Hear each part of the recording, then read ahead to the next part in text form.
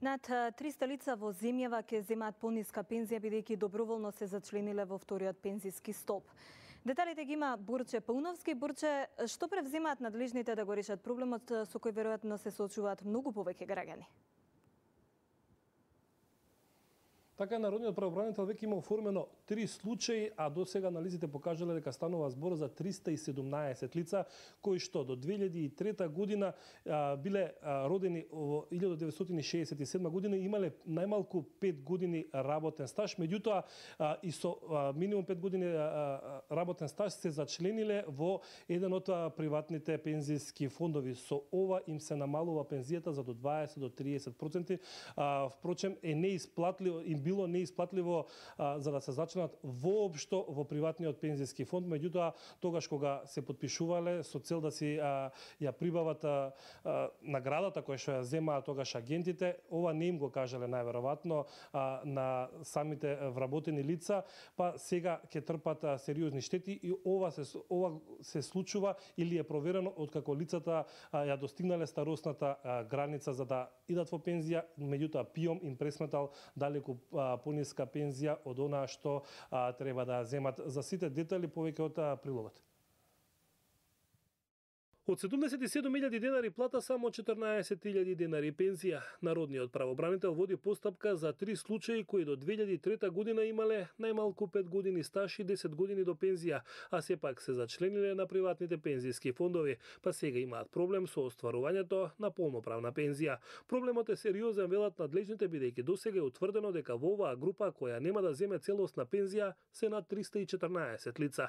Во нив спаѓаат сите што се родени до 1960 1967 година и имаат 5 години работен стаж, додека најлошо ќе поминат оние лица кои од 2003 до 2006 година подпишале за влез во некој од двата приватни пензијски столба, а имале 10 до 15 години до пензија. Таков е и случајот кој го води народниот правобранител, чија пензија ќе изнесува само 14.000 денари, иако таа реално треба да биде три пати повисока. Вториот случај бил на лице кое воопшто и не знаело дека е член на некој од приватните столбови. По остварување на правото на пензија, ја добил непријатната информација дека ќе зема далеку пониска пензија од таа која ја заслужил, бидејќи дел од средствата се одлеале во приватен фонд. Се стравува дека бројот на вакви случаи е многу поголем. Во 2008 година донесена е измена на Законот за пензиски друштва кој предвидувал дел од членовите на новите приватни фондови кои не сакаат да продолжат да бидат членови на приватен пензиски фонд, да се откажат а уплатените пари да легнат во државниот фонд, а по навршување на годините да остварат полноправна пензија.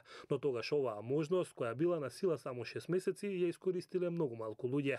Сега работното тело составено од Агенцијата за супервизија на пензиските друштва, Министерството за труд и социјална политика заедно со приватните фондови разгледуваат опција како законски да им помогнат на лицата кои им се загрозува остварувањето на полноправна пензија поради зачленување во некој од приватните пензиски фондови. За тоа дали овој проблем може да се надмени за колку случаи станува збор повеќе од директорот на а, МАПА са Булен Дервиши. Добро вечер. А, кажете ми, има ли решение за овие лица кои што членуваат, а, имаат поголем период на стаж, а и членуваат и во првиот и во вториот пензиски столб, па, па на крајот пресметката вели дека ќе земат а, за 20 до 30% пониска пензија? Да, добро вечер на сите гледачи на Канал 5. Секако ние мора да имаме решение за овие проблематични лица. На, на прво сакам да напоменам дека овие лица се доброволни влезени во вториот столб, односно во системот, при почетокот на 2006-2007 до 2008 година.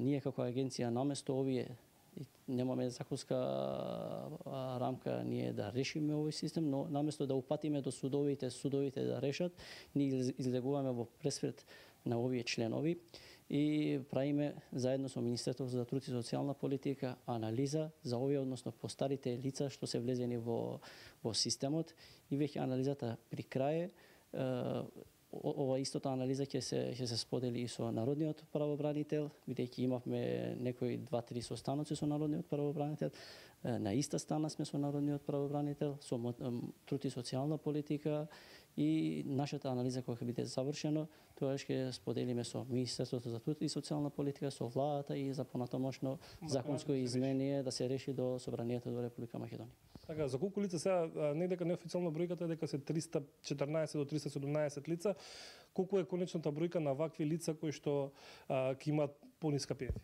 Да, а, народниот правобранител истакна некои лица да 314, 315, но се уште нашава анализа не е финализирано до крај и не сме разгледале со труд и социјална политика, кога ќе биде финализирано, тогаш може точно сите да, лица да спомнеме со бројки. Така, како настанат овој проблем? Дали се виновни агентите кои што тогаш нудеа за подпишување во вториот пензиски фонд? Па 2006, 2007, 2008 тоа почеток на системот и овие членови се бидејќи доброволни, а доброволни членови значи пред 2003 година била вработена можел да се зачленува на вториот стоп и доброволно тие се зачлениле.